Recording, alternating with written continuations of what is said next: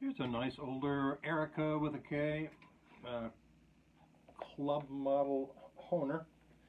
Uh, this is in the keys of uh, C and F, uh, and quite a bit of work done on this. Uh, what do we start with? The I did put new uh, felts under these uh, bass and buttons.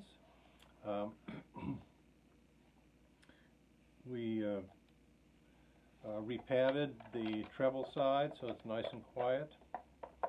Uh, new bellows gaskets, uh, top and bottom, so it's quite tight for this old of an instrument.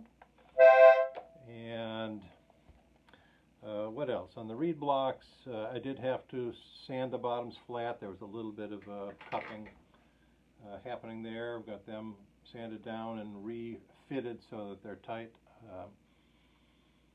Some of the very high notes I did need to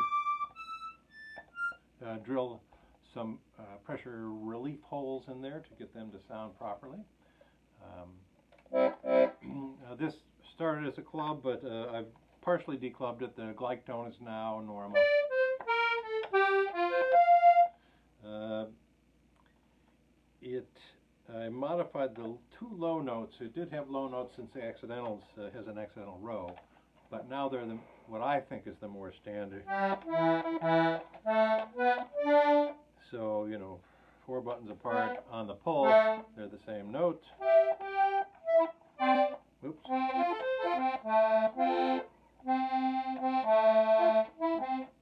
I still need to do that one. I may not redo the video, but uh, that one note needs to be pulled up. Uh, what else I needed to, um, I did uh, re, uh, re-cushion these uh, buttons so that they uh, end up flat and have a nice quiet action when you push them. Um, uh, of course, I've completely uh, we've uh, revalved all the all the reed plates on this, and I've tuned it with a.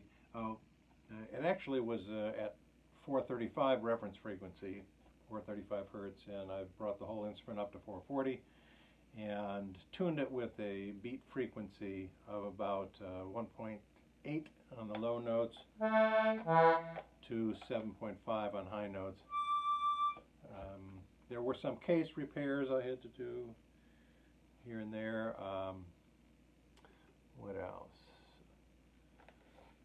I think I think that's it.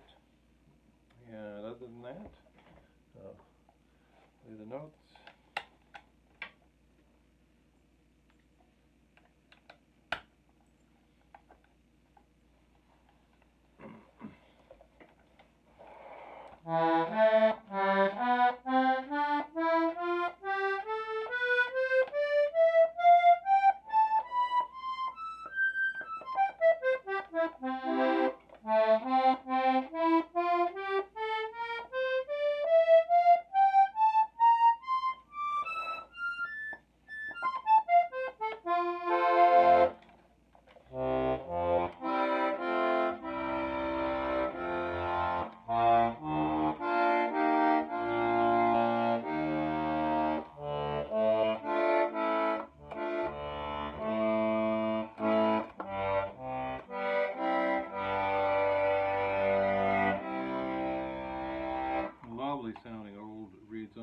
Most of the reed plates are zinc.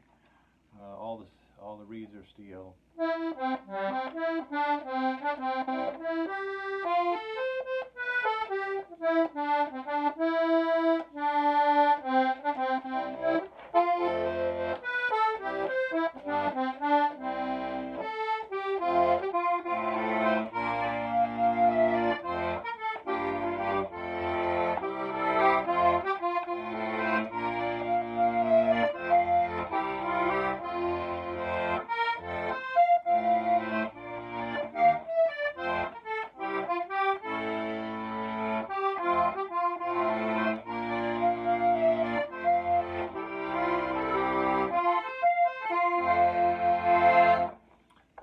Older Erika going to its new owner.